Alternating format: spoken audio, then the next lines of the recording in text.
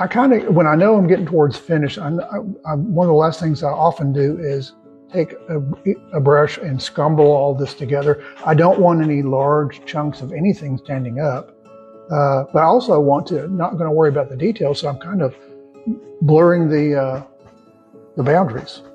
And it, this way it holds together, you know, it, it starts unifying.